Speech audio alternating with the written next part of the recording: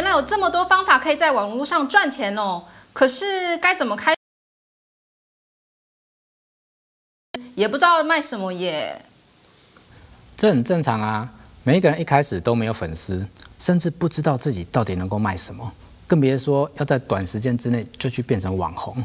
这些事呢，没有办法一步登天。所以，我们先来聊聊该怎么开始吧。小美，你现在会用哪些通讯软体呢？嗯，我会用 Instagram、Facebook、Line、Email。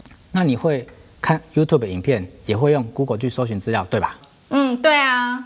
所以，许多人上网呢，会做的事情不外乎就是聊天、查资料、滑 IG，或者是看脸书朋友的动态。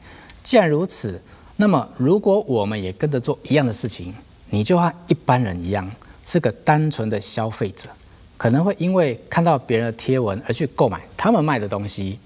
那我们就可以把消费者的立场转换一下，让自己从买家的思维转换成卖家的思维。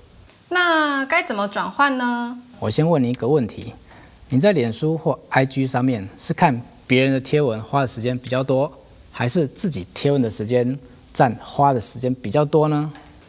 应该是看别人的时间花最多吧，自己的贴文只是上传个照片，加上简单的两句话而已啊，不是大家都这样吗？没错，大多数的人呢都和你现在一样，所以大多数的人都是买家居多。但是你现在想做的是改变自己的未来，所以你必须开始做出改变，把大量的时间呢花在贴文，而不是去看别人的贴文。这就是我说的转换立场。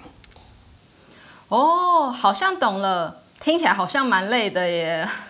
你就当做是在分享好康资讯就好啦。当你开始把这个时间花在自己的贴文，就会累积越来越多的资料，这就是我们说的数位资产。如果有人对你的内容感到兴趣，就会有越来越多的人想要追踪你，变成你的粉丝哦。问题是，我要分享哪些贴文呢？从我最喜欢的东西开始吗？没错，就从你最喜欢的东西开始。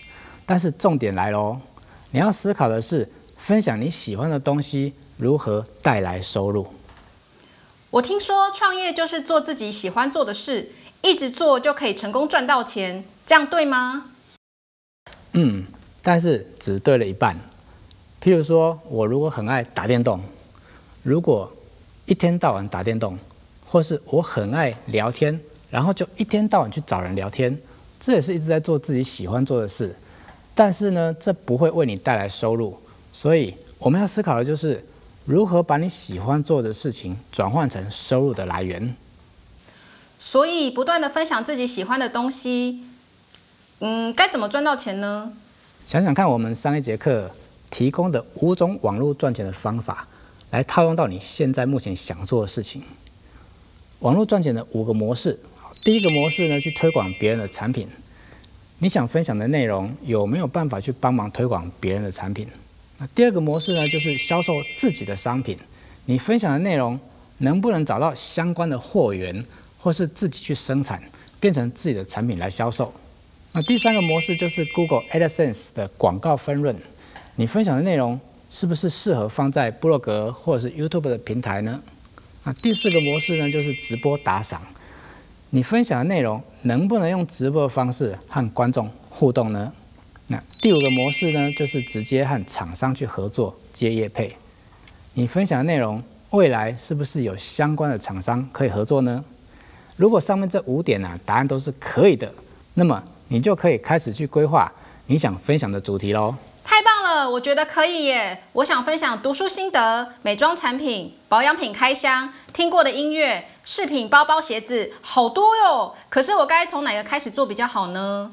刚开始的话，我建议你一项一项去做尝试，从你最擅长的项目开始，然后去看看网络上的反应，来决定最后要专心在哪一个领域。为什么不是一开始就做自己最有兴趣的事呢？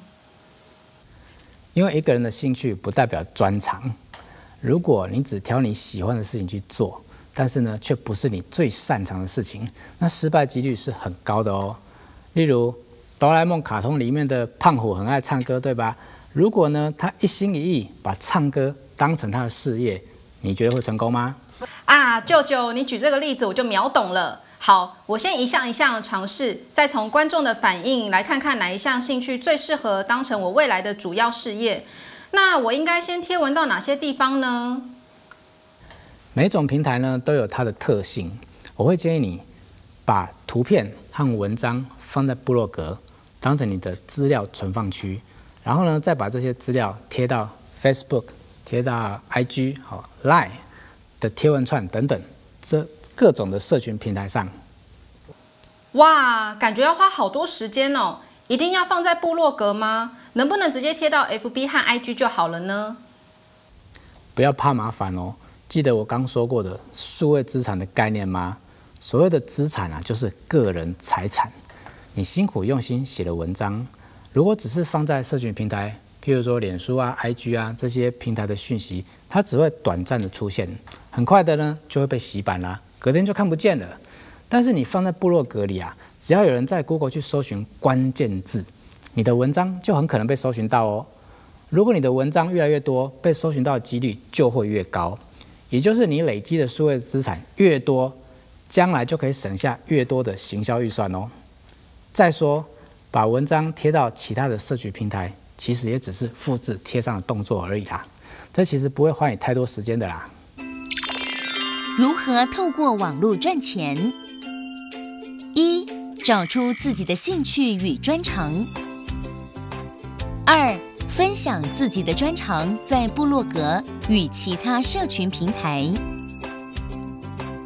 三、根据观众的反应来决定未来的方向；四、持续分享，不要间断。